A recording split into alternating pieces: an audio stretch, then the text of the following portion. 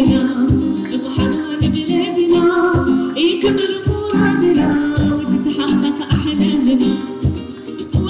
فيها نتهنى فيها هي بيا وأنا ليها بي فيها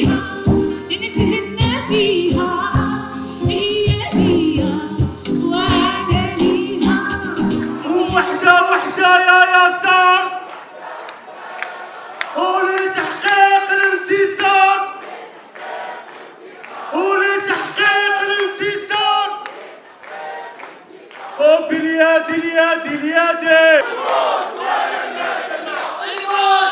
المدنة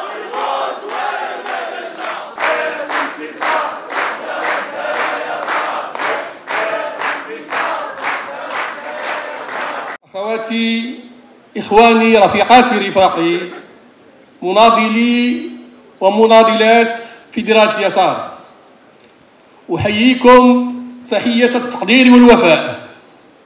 تحية النضال والصمود في هذه اللحظة التاريخية المفعمة بالأمل في المستقبل والتي اخترنا لها شعار مسارات تتوحد يسار يتجدد.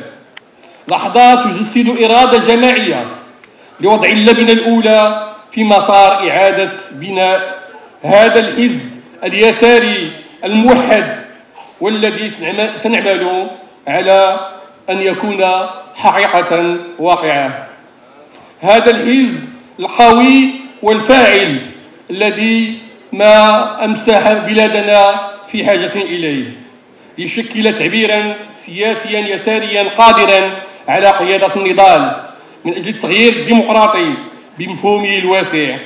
حزب اشتراكي كبير يعيد تجميع المكونات والفاعلين والنشطاء السياسيين اليساريين والحقوقيين والجمعويين الذين يتقاسمون مشروع بناء الدولة الوطنية الديمقراطية وبناء مغرب الحرية والكرامة والعدالة الاجتماعية. هل هناك من معنى لبقاء أحزاب متعددة؟ إذا كانت هذه الأحزاب تتمتع باستقلالية قرارها وبنزاهة وسائلها وتتبنى نفس الخط السياسي الذي يجمع بين النضال المؤسسي والنضال الجماهيري في بوتقه واحدة. من حق شعبنا أن يفرح وأن يستعيد ثقته بنفسه وبشبابه وبالمستقبل.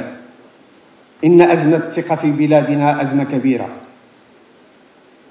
أزمة الثقة أزمة كبيرة في الدولة في المؤسسات حتى في المنظمات الجماهيرية وفي الأحزاب والطبقة السياسية والمشهد السياسي للأسف. من واجب الدولة أن تستوعب الدرس وتتفاعل إيجابيا مع انتظارات وتطلعات الشعب المغربي في الإصلاح والتغيير بدءا من تصفية الجو السياسي بإطلاق سراح جميع المعتقلين والصحفيين والمدونين.